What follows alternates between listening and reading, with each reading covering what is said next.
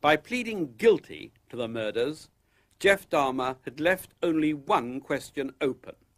Was he certifiably insane?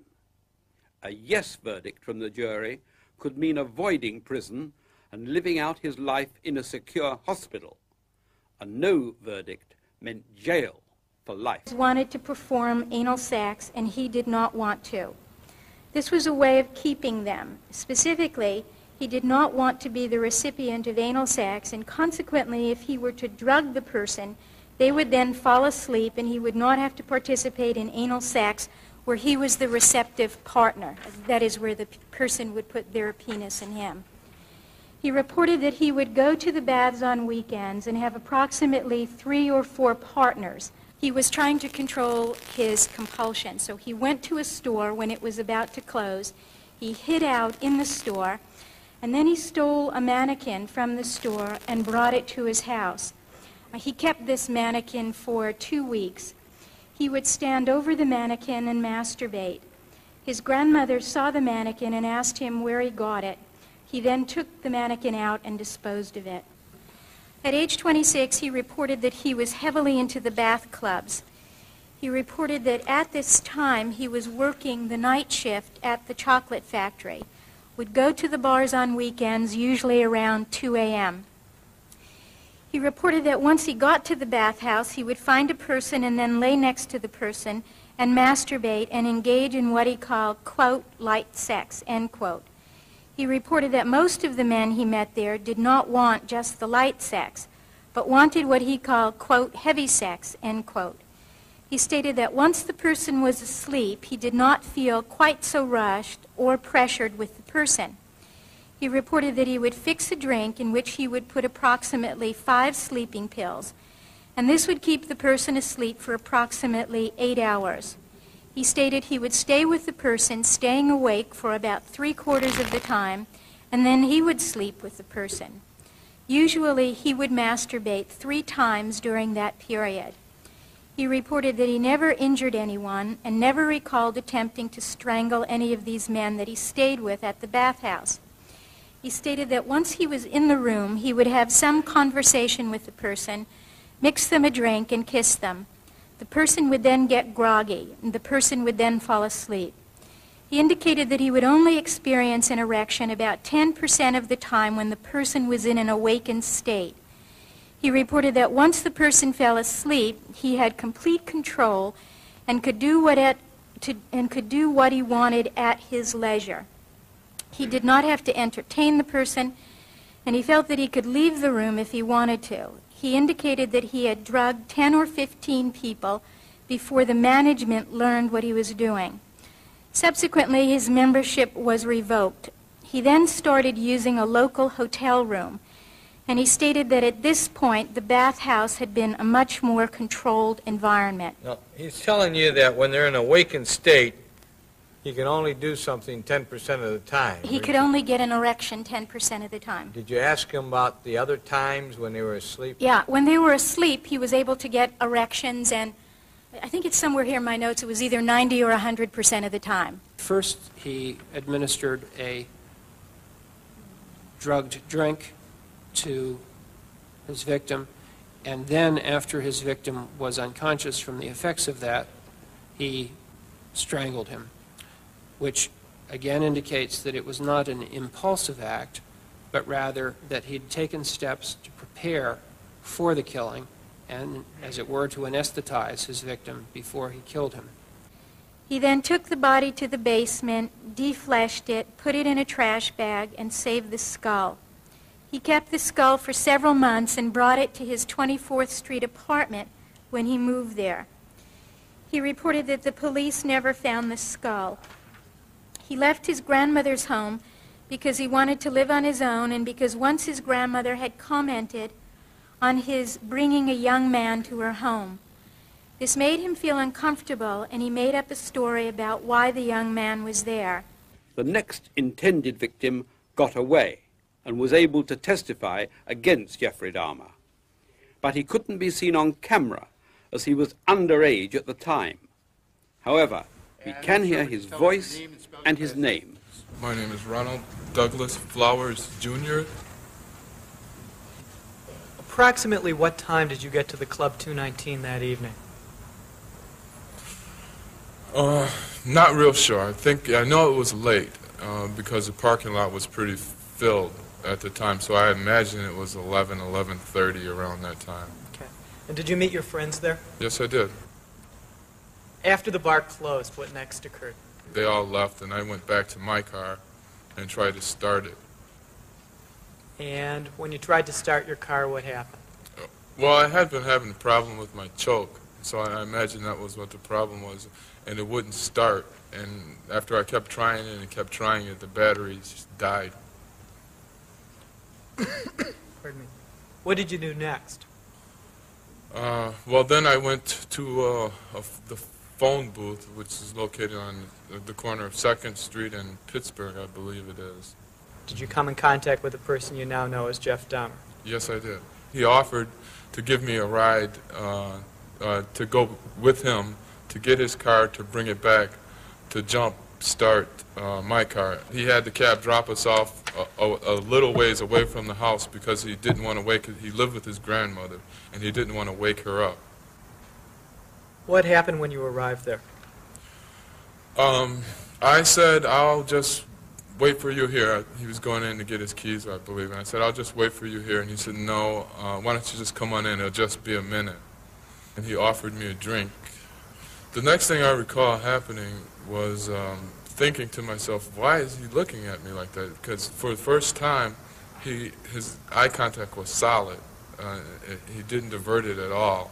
And, I, and it, uh, it was almost as though he was waiting for something. I, I'm thinking to myself, what is he waiting for? So naturally, I started to drink the coffee quicker because I became uneasy to get out of there. And the next thing I remember was becoming extremely dizzy and my head starting to go down, and that's it. When you say and that's it, do you mean you passed out? Yes. What's your next memory? Woke up in the County General Hospital in Milwaukee. Were you missing any property? Yeah, I was missing.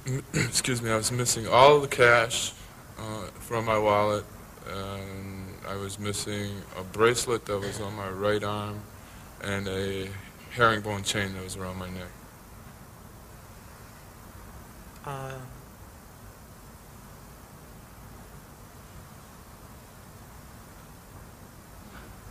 if you know, did the hospital remove your clothing at any time?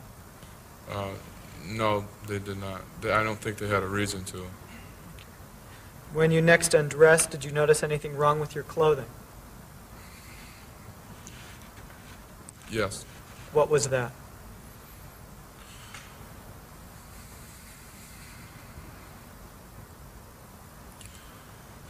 Mm, I, I noticed that my underwear were on inside out. He states that there was one more occurrence that happened, but this time the individual woke up prior to him being able to kill him, and he was also seen by his grandmother with this individual in the basement, and he decided not to kill him. As Mr. Dahmer described it to me, he drugged the man in the basement, and in the morning, the man woke up after Mr. Dahmer had had light sex with him. Mr. Dahmer then took $80 from him, walked him to the bus stop, saw him get on the bus, uh, and said, quote, he was really out of it, drugged, and apparently woke up in some hospital, and that was it, end quote. I asked him if he thought he was going to get caught for that, and he said, no, because I hadn't hurt him in any way. And I said, well, you drugged him and took money, right? And he said, yeah, I figured they would just think that he just lost the money and that he'd been drinking. But Dahmer did trip up after letting another underage victim escape. Did he say anything to you? Yes, he told me like um, he asked other kids if they would just pose for you know quick fifty dollars. If they would pose for a quick $50? Yes, And what did you say to him more, or what did he say to you then? I asked him if it is his career or, or he- said it's a hobby. He said it's a hobby. Yes, What would, did you say then, or what did he say then? he asked me if I if I want to pose for him just for a quick fifty dollar. What did, what then happened? Then we start walking to his apartment. After it had been pulled, your shirt had been pulled up to your neck area, was a, a photograph taken? Yes, he offered me some drink. Did he say anything to you about how, what you should do, if anything, with your zipper? Yeah, he, he said that I should put it all the way down and then, you know, show my uh, underwear. And you put it halfway down, and then what did he do? He, he put it all the way down. And what else did he do?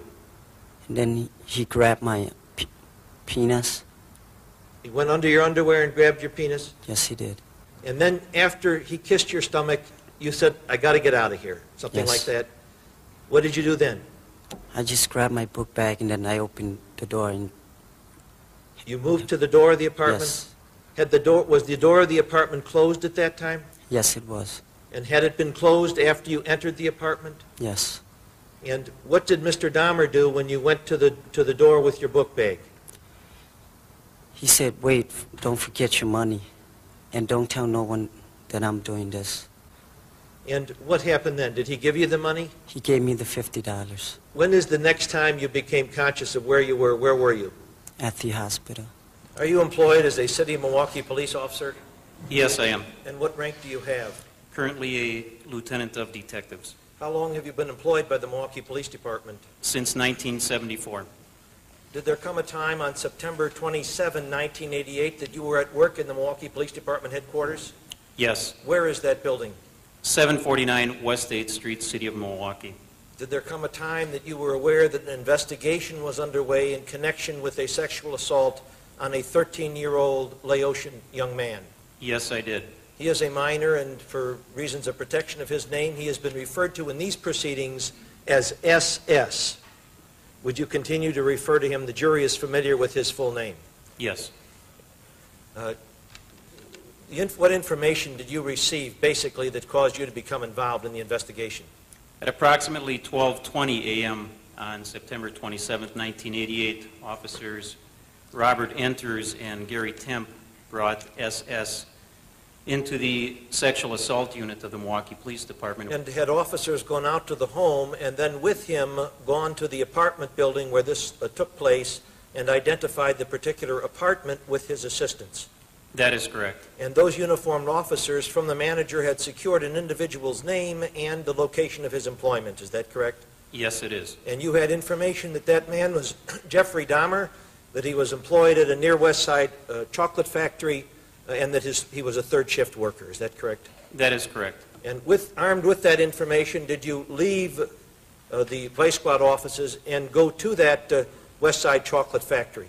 Yes, but prior to leaving, I showed SS a number of photographs, including the person who had been identified by the apartment manager, and SS positively identified Jeffrey Dahmer as the person who had taken him to his apartment and taken these photos. This is what you refer to in police work as a photo array. Is that correct? Yes, And you had Mr. P- Dahmer's uh, picture on file from an earlier case where he had indecently exposed himself. that is correct. Did you then go to that uh, West Side chocolate factory with the officers? Yes, I did. Did there come a time that Mr. Dahmer was brought to you by employees at the factory? Yes, And what, if anything, transpired when you, did you recognize him from the pictures you had already shown the Laotian boy? yes, I did. And what, if anything, any conversation occurred between you and Mr. Dahmer at that point? At that point, I asked him if he was Jeffrey Dahmer. He stated yes, and at that time, I placed him under arrest. Did he ever confess to you that he had touched the boy's penis? No, he denied that. Thank you. You have to ask this question. Did he plead guilty to the charge? Yes, he did. Okay, so he may not have admitted it to you, but he pled guilty to the charge. That's correct. Thank you. Although he was put under probation for five years, Dahmer was up to his lethal tricks again within three months. Don't forget Anthony Sears, who died at the defendant's hands. solemnly swear all testimony you're about to give in this matter will be the truth, the whole truth, and nothing but the truth, so help you God. Please be seated, sir. And then would you state your name, spelling your last name, please? Jeffrey Connor, C-O-N-N-O-R. Mr. Connor, you were a friend of Anthony Sears, correct? Yes. How long had you known him before he was killed? Uh, approximately three years. You were friends? Yes. In fact, you were with Anthony Sears on the night he went home with Mr. Dahmer, weren't you? Yes. Let me draw your attention to Saturday night, March 25th, 1989. Did there come a time when you met with Mr. Sears that evening? Yes, I did. About when was that? It was probably around 10 or 10:30 at his apartment. Okay. Did you then go someplace together? Yes, we had gone out. Where'd you go out to? We went to La Cage. Lacage. What is La Cage? Lacage is a gay bar in Milwaukee Where's it located? on Second National. And how did you get there? Uh, we took my car. On that evening, did you come in contact with a person now known to you as Jeffrey Dahmer? Yes, I did. I met him just prior to closing, which would be about 2 o'clock, 2.15. When the bar closed, what happened? Um, we had gone outside. Who's we? Uh, Tony, um, Jeffrey Dahmer, myself, and another friend of mine, Who's that friend? uh, Bob Keel. Okay. And what did you do? Um, we had then gone to my car. Um, everybody had gotten in. Um, Jeffrey Dahmer and Tony were in the back seat. And then where did you go? Um, then we left that area to drop off Tony and Mr. Dahmer. Did somebody tell you that they were going home together? Um, I just kind of took that. Okay. Um, where were they going to go? Were they going to go to Tony's place or Mr. Dahmer's place? Mr. Dahmer's place. Okay. And did Mr. Dahmer tell you how to get there? Yes, he did. When you pulled over, did you have any discussion at that point? Uh, no. Okay. Did you talk to Mr. Sears at all, make plans with him about his being picked up? Yes, I did. What was that about? Um, I just reminded him that um, that Sunday was Easter and that I had plans to be with my family, and that in order for me to give him a ride home, I'd have to pick him up before I did that, which would be early morning sometime, and to call me. And did he, agree to do that? Yes, he did.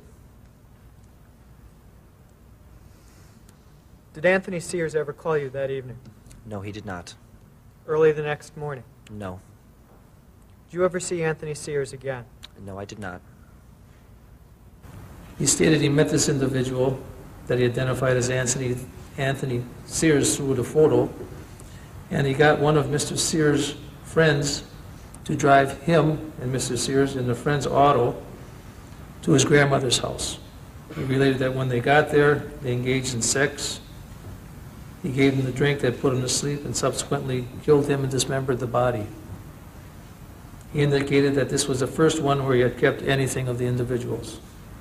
He stated that he kept the victim's skull, which he boiled to remove all the skin, and he kept the scalp with the small ponytail because he liked it. He stated he kept the genitals of this person. He stated that at the time of his arrest, these items were in the black metal cabinet. Quote, I found him very exceptionally attractive, and the desire to retain something from him was stronger than the fear of being caught, I guess. That was about the time I had the table, the black table and the two griffins, and that's when I started formulating the idea of the temple area off of this. Mr. Dahmer drew for me a diagram of what he had in mind for the temple, and that diagram of the temple shows 10 skulls on a table with incense burning on both ends, and two whole skeletons on either end of the black table with the plaster um, griffins above the uh, table and a special globe lamp to impart an eerie uh, sense of lighting. And he wanted a black leather chair so that he could sit in the leather chair and admire his collection. If he did this and had it set up this way, he would be able to become, somehow get in touch with some spiritual force or power. It's the time I started watching Return of the Jedi. So the first idea of the temple area occurs only after three of the charged killings.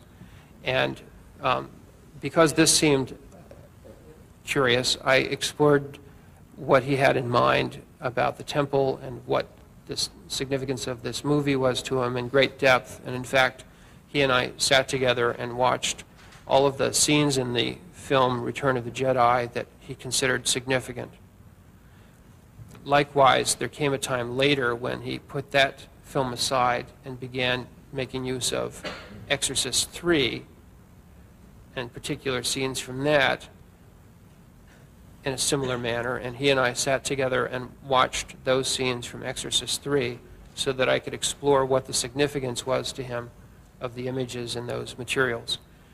And I think that what uh, emerges from all of that is an understanding that Mr. Dahmer regarded one character in each of those films, a character known as the Emperor in Return of the Jedi, and the character who's obviously supposed to be Satan in Exorcist 3, a man who's confined in a cell-like area at that time. And what these characters have in common is that they are evil and corrupt and powerful, and both have the ability to use special powers to control others. In the case of the Emperor, he seems to be um, zapping people with energy beams of some kind and able to manipulate them in that way because it's futuristic. In the uh, Exorcist 3, the power comes from being able to create illusions to make people think that there are snakes crawling over them, to suspend people on the ceiling, to be able to um, do all manner of things. Each of the characters in the scenes that he repeatedly viewed actually torments someone else in a, a way that might be described as torture. But Mr. Dahmer said that was not what was appealing to him, though there were occasionally fantasies where that might be, that he never enacted that. And he's consistently told me that making others suffer was not his desire sexually. Uh, but that he did identify with the power of these characters. The characters are, uh, are unattractive ones in both those scenes and not ones that one would expect most people to want to identify with. But he liked the idea of the power that they had. And it happens that both those characters are portrayed in the films with yellow eyes that give them an eerie look and Mr. Dahmer even went to the extent of buying a pair of contact lenses with that yellow tint that he would wear uh, when he would go to the clubs so that he could have more of that look. His dabbling with these films and using them wasn't just ordinary curiosity. It's something a little more than that in that he uh, wanted to be more like those people and he describes some sense of using the films to get himself in the proper mood to go out and cruise for a victim. And sometimes he would bring the victim home and watch a portion of a film with them and direct their attention to those scenes too. And so it did play some part in um, setting the right mood for him for committing these crimes. And he explained that he identified with the characters because he felt that he was thoroughly evil and corrupt, just as those two characters were. Don't forget Raymond Smith, who died at the defendant's hands. He stated that this individual was the first one that he took photos of. We showed him a photo album which contained 15 photos of a black male in various positions and he identified this individual as a person he met at the 219 Club area and offered him the same line as to come to be photographed, to have a drink and look at dirty videos. The 15 photos that you're talking about, were they photos of a live or dead person? They were photos of a dead person. In various poses? Yes. Go ahead. He indicated that this victim agreed, and he took him to 924 North 25th Street, apartment 213, where he drugged him, subsequently killed him by strangulation, and after removing his clothes, he saw the tattoo of Cash D, the initial D, on his chest and pitchforks going up in the name of Cash. He ran into Cash D, who he thought was a black male prostitute, and offered him money to go home with him. While at his home, Cash D said he wanted more money. Jeffrey gave him a drink, laid with him, and then once he was asleep, strangled him. He recalled that prior to killing Cash D, he had brought another man back to the apartment and made him a drink as he usually did in a coffee cup. The man drank the wrong cup, and consequently, Jeffrey drank the drink with the sleeping pills. He fell asleep, and the man robbed him of $300. Jeffrey did not report this incident to the police. He reported he would have strangled this victim, but the man had taken the cup without the sleeping pills.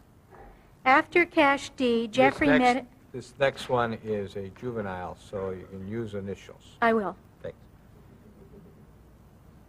After Cash D, Jeffrey met a man, uh, a young man with the initials LP, who was waiting tables.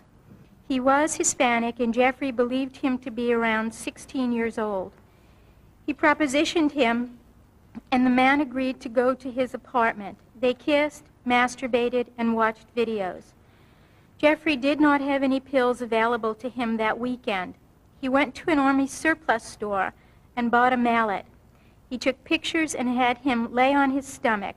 He struck him on the back of the neck with the mallet. The guy got up and attempted to leave the apartment and said he would call the police. This male left and then came back in and asked Jeffrey for money for a cab. Jeffrey tried to strangle him at this point, but then calmed down, and they both went into the bedroom. Jeffrey called him a cab and he went home. Jeffrey said that uh, this young male did call the police, but the police never followed up on the call. Don't forget Edward Smith, who died at the defendant's hands.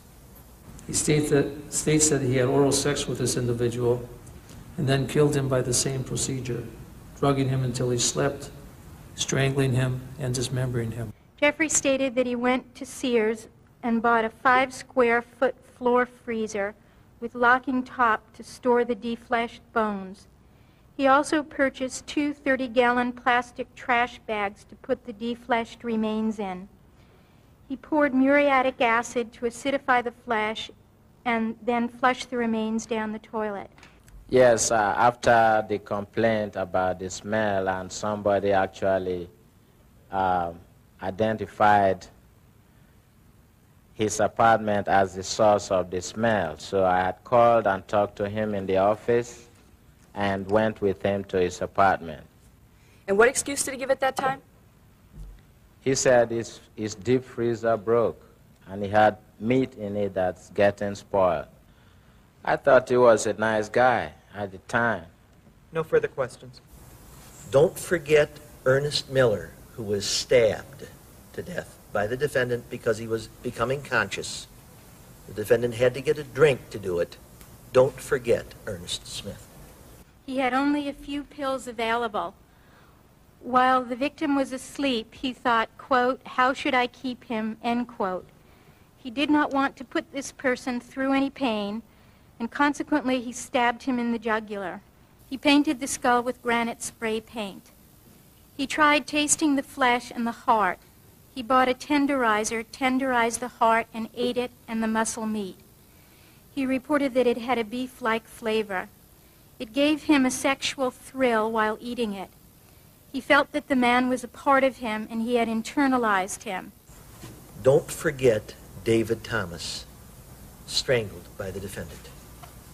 Mr. Dahmer told the police that once he had David Thomas back to his apartment, he thought that David Thomas wasn't really his type, and he killed him because he'd already given him the sleeping potion and thought that Thomas would wake up and be angry. Don't forget Curtis Straughter, strangled to death by the defendant. quote, he was gay and he wanted anal sex, so I made the drink mixture. He fell asleep, used the handcuffs. This was the first time I used handcuffs. Took a pic, uh, strangled him, took pictures. Don't forget Earl Lindsey, first drilled and eventually killed by the defendant.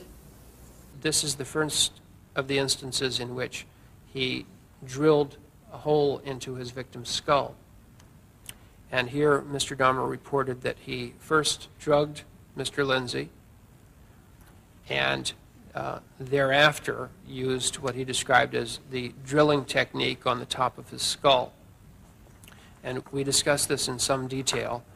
In the course of that discussion, he said that after initially having drilled the hole and injected a, I, I would call it a syringe, it's a baster actually, um, a syringe full of muriatic acid into the uh, cranial cavity of Mr. Lindsey, that Mr. Lindsey woke up, and when he uh, regained consciousness, Mr. Dahmer said he was groggy when he woke up, but still coherent and aware of his surroundings, and so I figured it was a failure.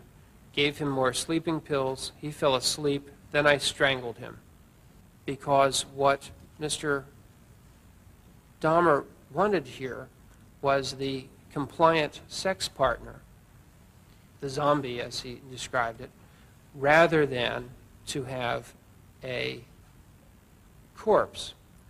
It was his intention to keep this man alive if that was going to work, but when he concluded that he had failed to achieve the compliant partner with no will, only then did he strangle him. So what's another way to look at it is that uh, when he couldn't have the zombie-like creation he was hoping for, he was willing to settle for a corpse. I asked him um, in that discussion the question, you didn't expect him to wake up and say, yes, master.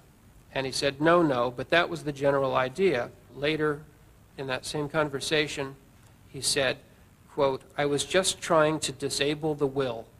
And I asked, and subject them to your will? And he said, right.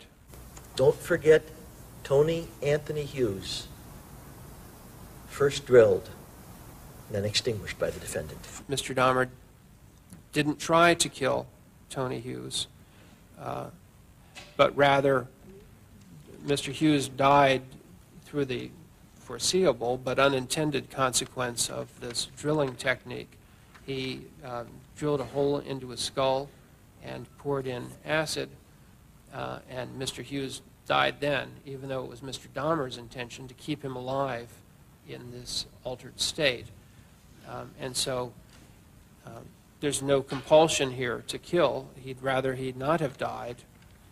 Um, and it was not any impulsive act of killing, but rather a planful act of trying to provide himself with a compliant sexual partner. Don't forget Konerak Sinthasomphone. Age, as I recollect, age 14 for a couple of days of sexual pleasure. He stated that he met him while he was walking around the Grand Avenue Mall.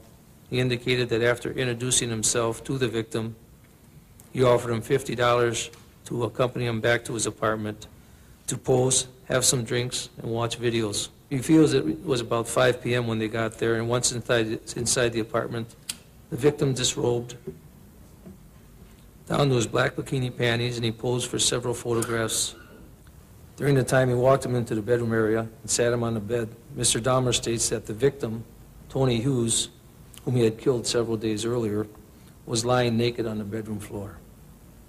He stated that the Asian boy, he believes he saw him, but he did not react to it. He feels this was because of the rum and coffee and sleeping pill mixture. After he realized he was unable to arouse the victim by mouth-to-penis sex and by body rubbing and kissing him. He continued to watch the video and drink beer until he himself fell asleep. After a few hours, he woke up. It was quite late out, approximately 11 or 12 p.m., at 11 p.m. to 12 a.m., or maybe a little later. He realized the victim was still sleeping because of the effects of the drink he gave him, so he decided to go to the tavern located on 27th, just north of Kilbourn, the Care Bear Bar. He continued drinking there. And at closing time, excuse me, after leaving the tavern, he began walking eastbound on West State Street. He observed the victim, the Asian boy, sitting completely naked on the southeast corner of 25th and State. The victim was sitting on the curb. He stated there were two black females standing by him, and they appeared to be hysterical. He walked up to the victim, whom he realized was speaking to the black females in Asian. The victim was disoriented and appeared to be intoxicated by alcohol. However, Mr. Dahmer realized that he must still be under the influence of the drink containing the sleeping pills that he had given him. This time he advised the ladies that the victim was in fact a friend of his. He attempted to pull the victim in the direction of the apartment.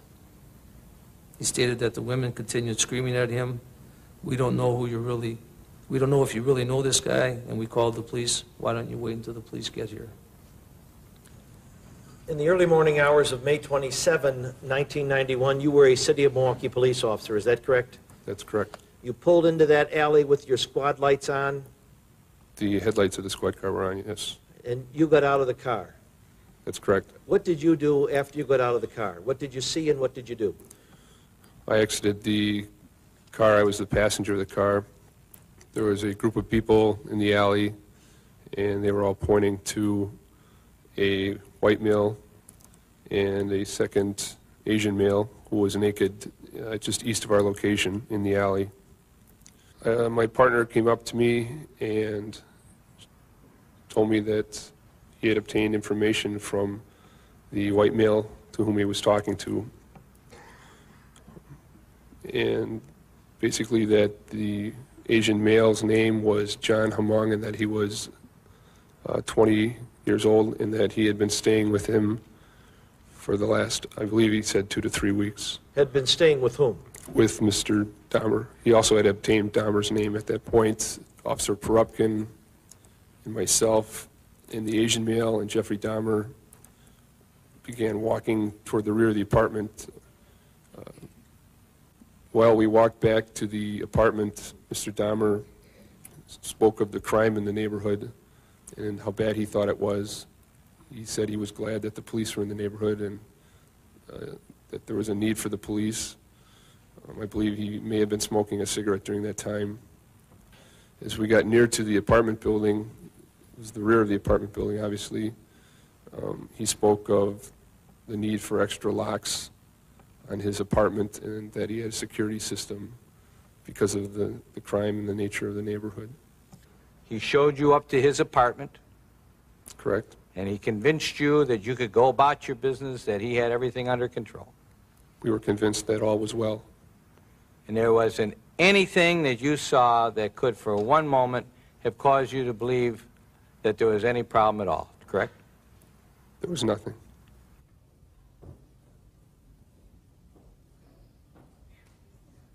Mr. Dahmer told me that after the police left, he gave a second injection of muriatic acid and that that proved fatal. But even then, he was attempting to carry out the plan to create a zombie. His words were, then I gave him the second injection of muriatic acid, and that was fatal. I didn't intend it to be, but it was. Don't forget Matt Turner, extinguished by the defendant. Jeffrey had attended the Chicago Gay Pride Parade and met this victim at a bus station.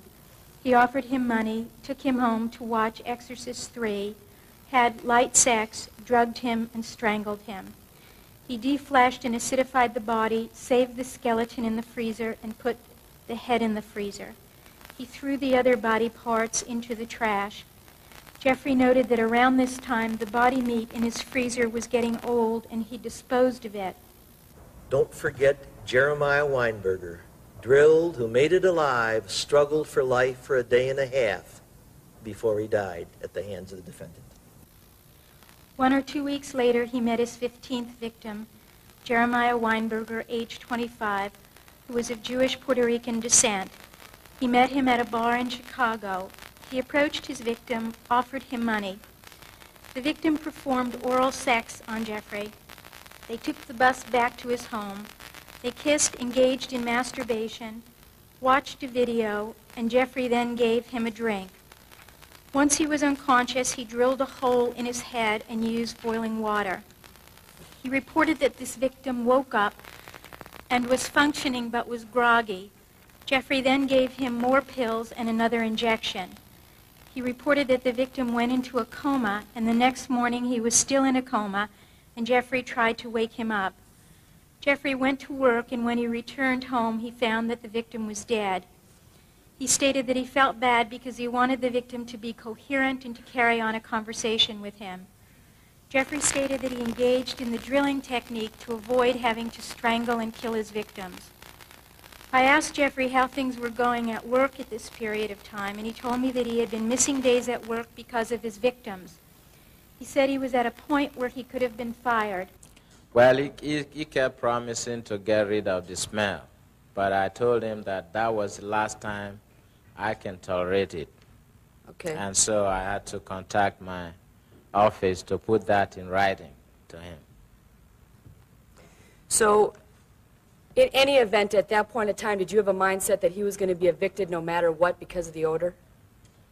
That's what I had in mind. Don't forget Oliver Lacey dying at the hands of the defendant. He reported that Oliver was black and was a bodybuilder.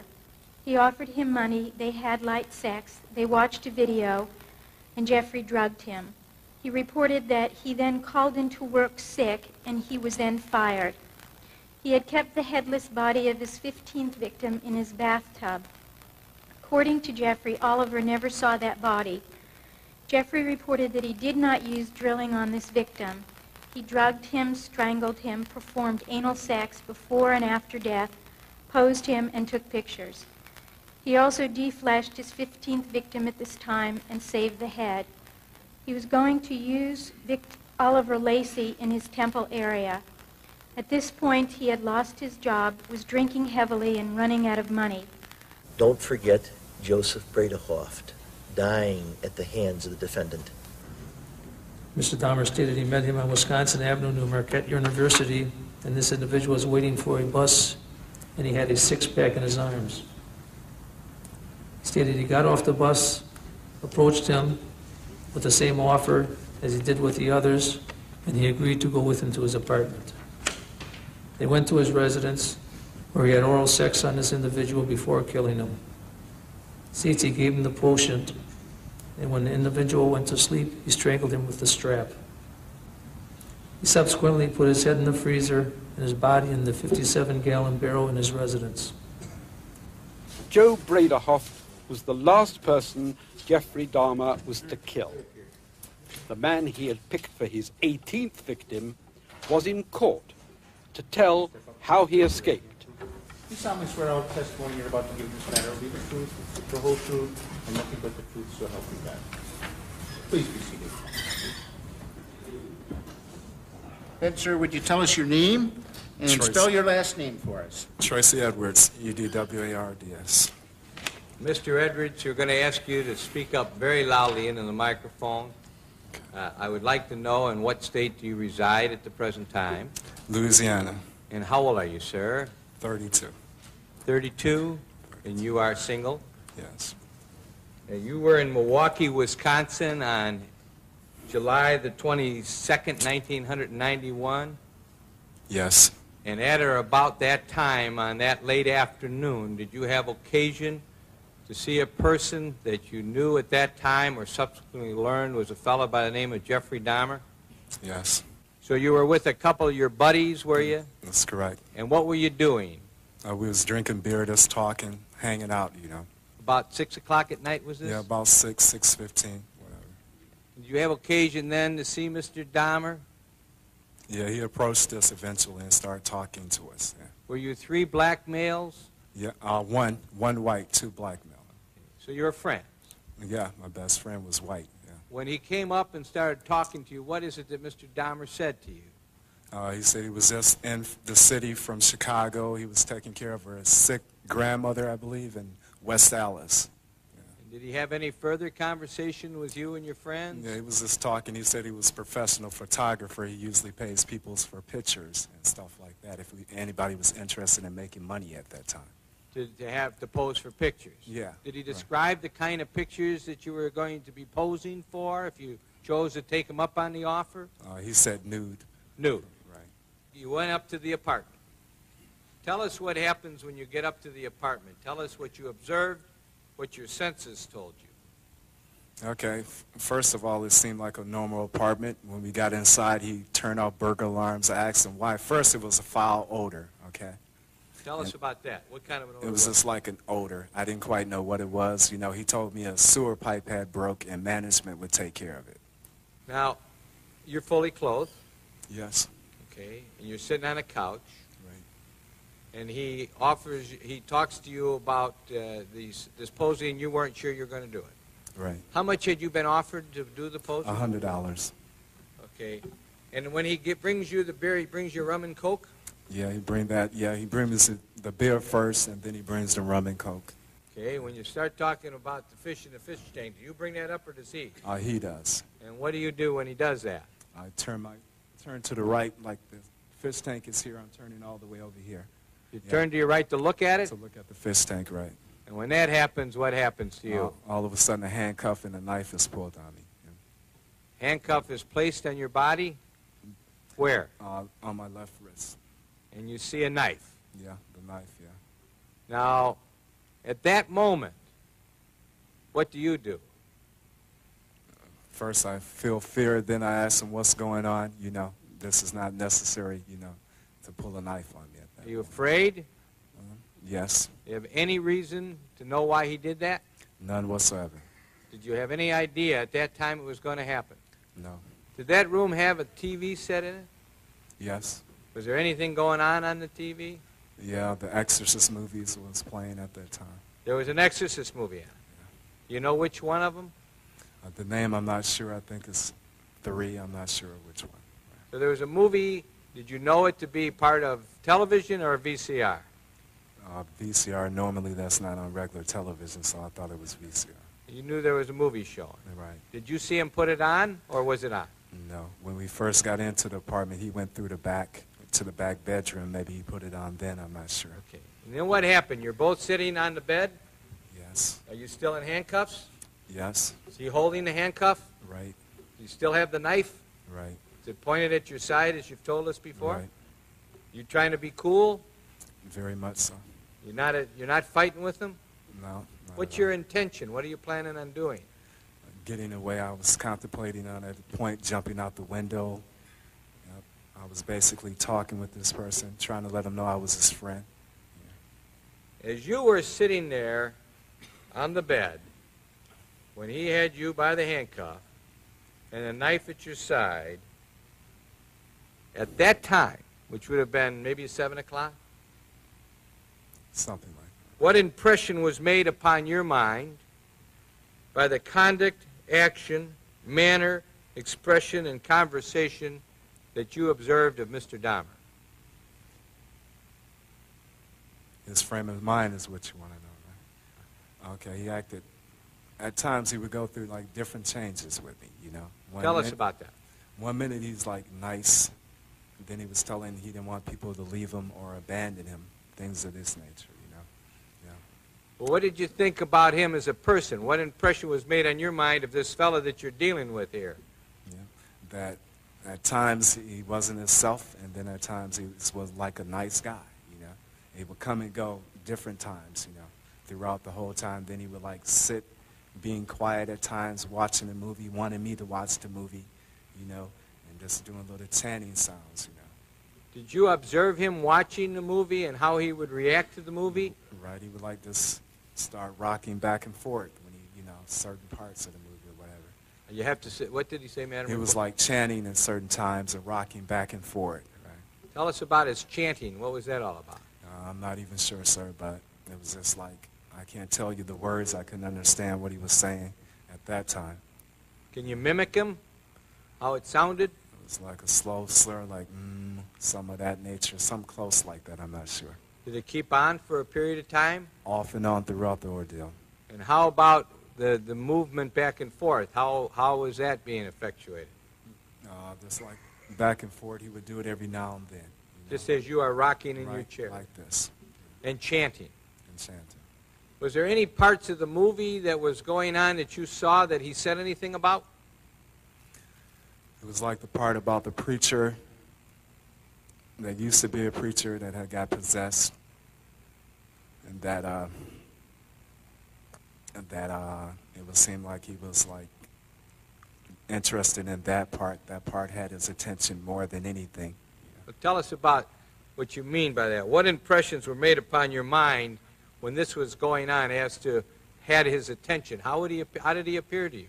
It appeared like it was like he wanted to mimic it or be like that part, you know, being demonized or whatever in that nature. I'm, I'm sorry, I missed Yeah, you. like he wanted that that type of movie. That part, certain parts of that part, interested him. You know, it was like he changed with it at times. Then he would get more aggressive, try to get me to handcuff myself, both hands. He's told me it made him feel more dominant. Okay, did you and he move off of the bed at any time? He told me to lay down, face down, put both of my hands behind my back because he got, he changed again at that point, like he got more aggressive at that time. Okay, now, but tell us, tell us, uh, did he still have the knife out? Yes, he still had the knife. And what did you do? Okay, I kind of like laid on my sides for some reason. I guess God told me not to lay flat down or let this person handcuff me, so I didn't. So you were trying to stop that from happening, but you got down on the floor. Right. What did he do? He kind of laid across me, put his head across my chest at that point. What was he doing with his head? Pardon me? What did it appear to you he was doing with his head? What was he trying to do? Like he was listening to my heart, because at a point he told me he was going to eat my heart at that point. He said he was going to eat your heart? Yes, that's correct. So I suggested we sit on a couch. I had unbuttoned my shirt to try to make him feel more at ease. And then, and then I just sat on the couch like, and he just started going out of himself again. Going out of himself? Yeah, he was like paying me no attention at that time. Like he Yeah. wasn't He there? was- yeah, he started the chanting again, and it's like just sitting there, you know. And then I just, for some reason, I said, well, I need to go to the bathroom again, and he didn't follow me at that point. So I reached up, I got up, and then I got hit him, and I ran out. So you hit him. Right. Did you have any other belongings Yeah, there? I have my bag right there at the end of the couch. I sit in exactly the same place as I sit when I went in there. So when you got up, he let go of your cuff to let you go to the bathroom again? Uh, he didn't even, he just like, just let me stay there. I was going to go for the window. At that point, he didn't even have the cuff. It's like I wasn't even there anymore. And when you saw that, what'd you do? I just seized the opportunity. I said, well, at least I'm going to die trying. I'm not just going to sit here, you know. What'd you do, son? Uh, I hit him, and I ran towards the door, and he like was right there, tried to grab me, get me back in there. And what happened? Then I made it outside. So he wasn't able to bring you back Bring in? me back in there, no. He tried. He tried. And as you left that apartment, as you got away from him, I'm going to ask you again, what impressions were made on your mind by the conduct of Jeffrey Dahmer, by the actions of Jeffrey Dahmer, by the manner, expressions, and conversations of Jeffrey Dahmer that you observed? Can you give us some words? It's like I told the policeman that this freak, this crazy guy, was trying to hurt me. Did you run out of the building? Yes, I did. Did you summon help? Yes, Milwaukee Police Department? that's correct. Did they come back there with you to the apartment? Right. Did you eventually go back into the apartment with the Milwaukee police officers? Yes. And then he was arrested. Right. Dr. Dietz explained the compulsions of Jeffrey Dahmer. The favorite activities he describes are what he often refers to as light sex kissing, touching, rubbing, hugging, the kinds of activities that between consenting adults would often amount to foreplay are things that he has emphasized uh, with victims and with other partners those were activities, and, and those are normal activities with a consenting adult, that give him pleasure and that he always enjoyed. But he describes difficulty in getting partners to restrict themselves to just that because the partners that he found most often wanted to do more than that. And one of the things more than that that some of them wanted to do was to have anal sex with him, which he did not like, having had a few painful experiences, he did not want to be in that position. Also, the partners that he was able to find universally had a deadline when they had to leave. And he was unable to spend as much time as he wanted doing these more gentle, ordinary activities with them. And so he devoted a considerable amount of his energy to finding a way to be able to have someone, or if not someone, something, that could serve that role for him as being the person or body or part with whom he could have such gentle activities as rubbing and touching and hugging and masturbation and kissing and fondling. And it's in the course of trying to find a way to keep a person for that that he engages in most of the more extreme behaviors surrounding the killings for which he's charged. If I understood what Mr. Dahmer told me correctly, and we spent a lot of time on this during, during my examination, his preference, his first choice, would have been always to be able to have a living, breathing, consenting partner who permitted him to engage in all of these light sex, to use his term, activities that were his favorite. And in fact, he said to me that had any of the victims agreed to stay with him for several weeks, then he would not have killed them if they'd agreed to stay and, and do these things. And in, there were a few whom he found particularly appealing because the physique was so close to his ideal that uh, had he been able to have a continuing relationship with those men, he felt he would have had no need for any of the rest of what he did, no particular desire to do it.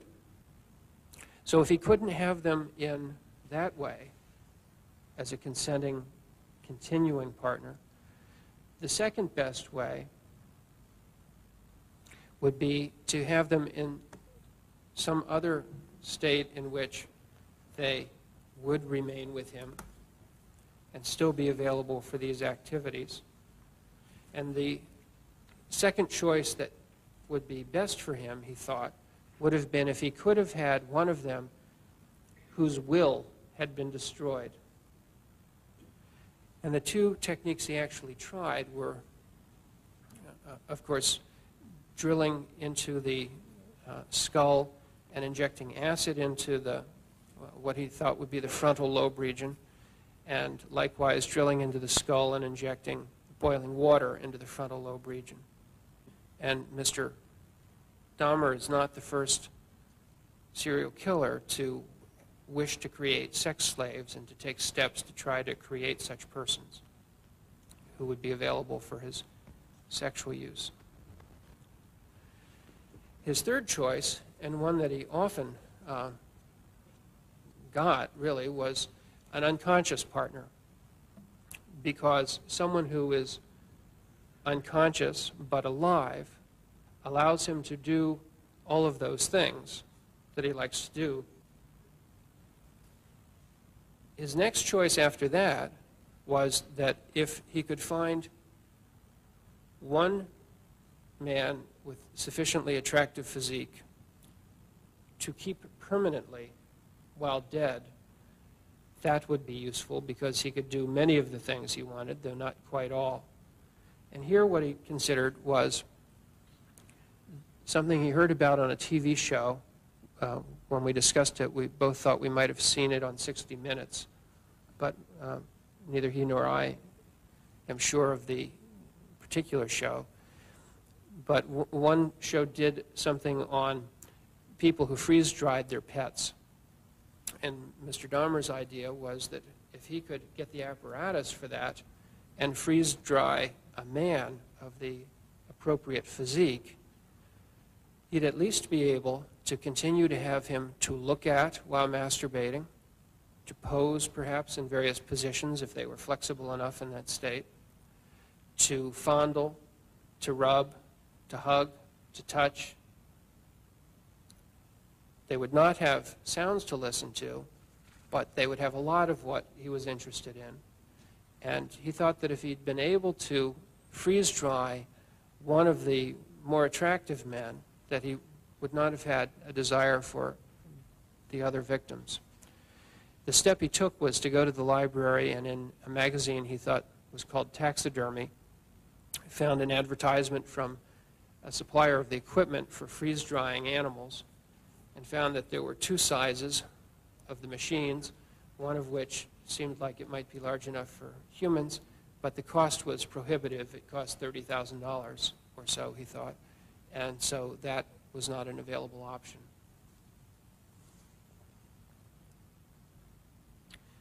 The next best choice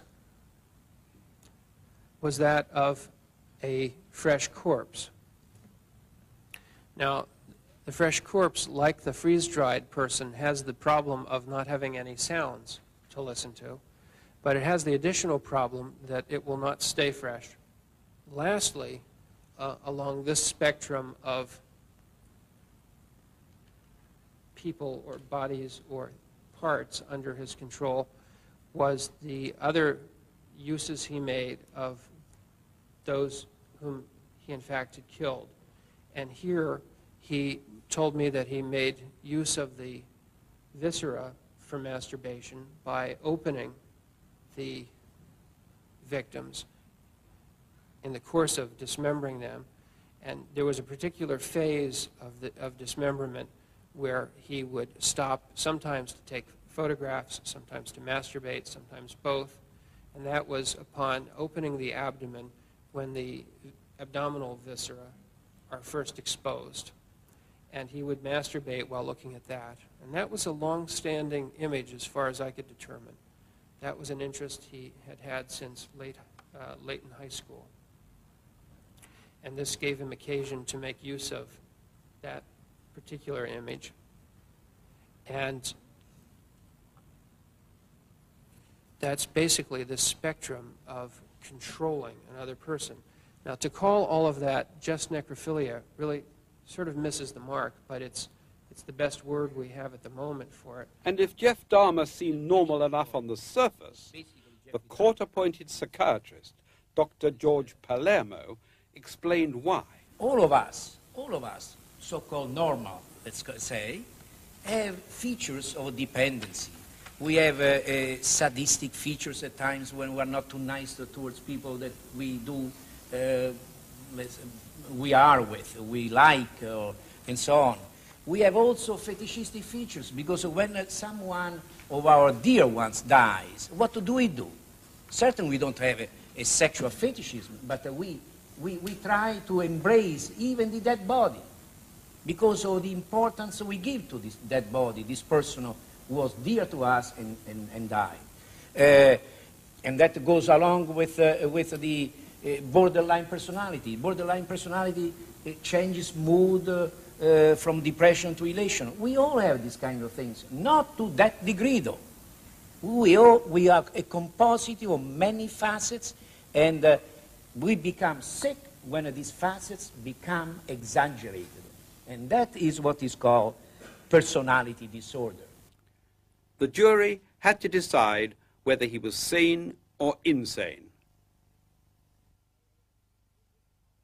So it was to be prison after all, not the softer option of a secure hospital. The jury's decision was read out 15 times, once for each count. Again, in the state of Wisconsin versus Jeffrey Dahmer, case number F912542. Uh, in a special verdict, question number one. At the time the crime was committed in count two of the information, in regard to the death of Richard Guerrero, did the defendant, Jeffrey L. Dahmer, have a mental disease? Answer, no. The spectators now included high school parties, organized to remind youngsters of the perils of going with strangers for fun or for money, and that this was no ordinary trial was emphasized by allowing the relatives of the victims to address the court and, at last, to confront Jeffrey Dahmer. My name is Shirley Hughes, and I'm Tony Anthony Hughes' mother. First of all, thank God, and to give thanks to the judge and to Mr. McCann for the verdict that came in. I would like to say to Jeffrey Dahmer that he don't know the pain, the hurt, the loss, and the mental state that he had put our family in. But I'd just like to read a poem that a good friend of my son wrote. Tony thought you was his friend. He knew you. Why am I a victim in your cruel and ruthless world, although I can't communicate with a loud voice? Listen to me anyway. Try to have mercy on my moans. Look at the tears roll down my face. See that each one is a cry for help. And realize, realize my sign of showing you that I want to live. Tell me just what is it that I've done to you to make you such a monster, to make you such a maniac, to make you such a devil. My God, who are you? What are you? You have never shown me this side of you. I put my trust in you. I thought you were my friend until the end, yet I didn't know you as well as I thought. I never felt the end would be this way. Is there anyone that can help me? Mom, dad, sister, brother, someone, please help me. What ha what's happening to me?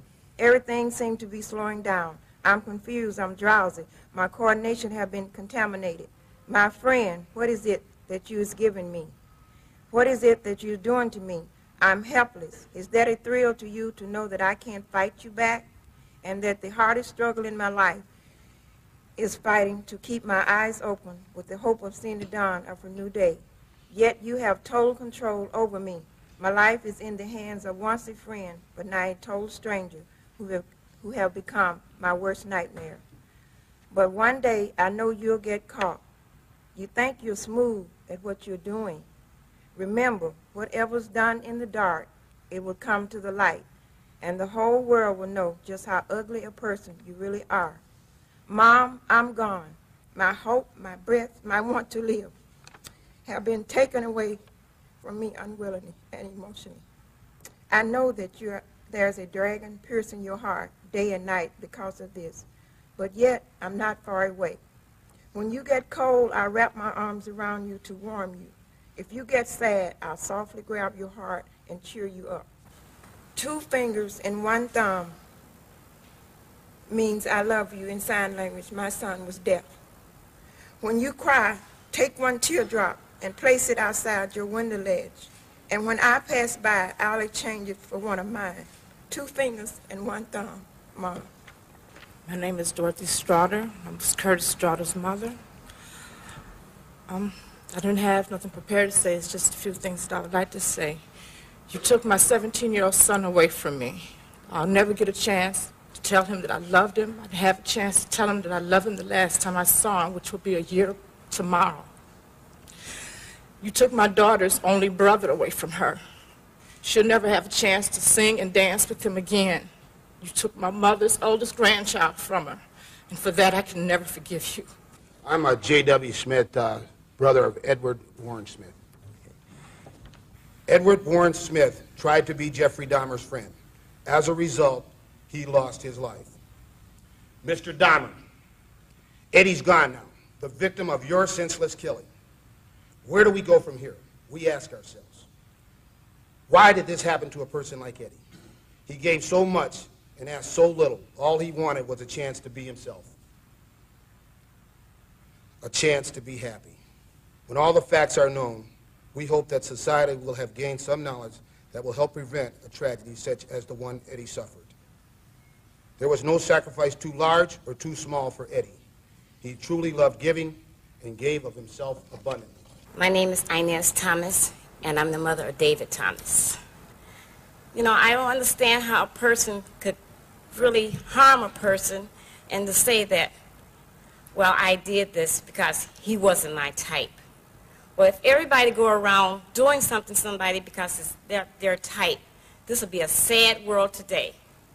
And I just feel that this man should never be able to walk the face of earth or to be able to harm anyone else again.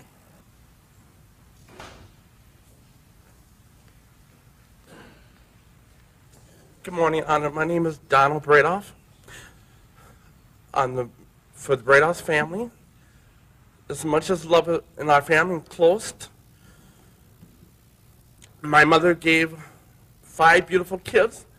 We lost, he destroyed the baby of the family. And I hope you go to hell. I love this world. You guys did a wonderful job. Bottom of my heart, thank to God, I'm, I got a lot of strength. Thank you all. God bless America. Wait, Excuse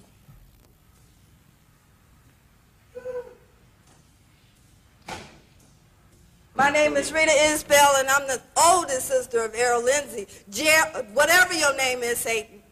I'm mad. This is how you act when you are out of control. I don't want to ever see my mother have to go through this again. Never, Jeffrey. Jeffrey, I hate you, motherfucker. I hate you. This is out of control. Don't fuck with me, Jeffrey. I'll kill you. God damn it. Look at me, motherfucker. I kill you. What's your name, Pat? I will kill you. The court will impose the mandatory life sentence plus an additional 10 years on the habitual criminality. Count two, life imprisonment plus 10 years consecutive to count one. Count three, life imprisonment with the date of parole eligibility 70 years from the inception of that particular sentence. I don't have all the numbers that I can't work it out, but it'll be 70 years from the beginning of that sentence, which will be consecutive uh, to count two, count four, life imprisonment with a parole eligibility to be 70 years from the commencement. Count 15, uh, life imprisonment with parole eligibility to be 70 years after the inception of that sentence to be consecutive to count 14. I, I have, believe I have, and I intended to follow the recommendation of the state. I, I could have said something different, which would have had the same impact. I really see nobody gains anything by just to say more and more years. The important point is that the sentence is structured in such a way that this defendant will never again see freedom. Your Honor, it is over now. This has never been a case of trying to get free. I didn't ever want freedom. Frankly, I wanted death for myself. This was a case to tell the world that I did what I did not for reasons of hate. I hated no one. I knew I was sick or evil or both. Now I believe I was sick. The doctors have told me about my sickness, and now I have some peace. I know how much harm I have caused. I tried to do the best I could after the arrest to make amends, but no matter what I did, I could not undo the terrible harm I have caused.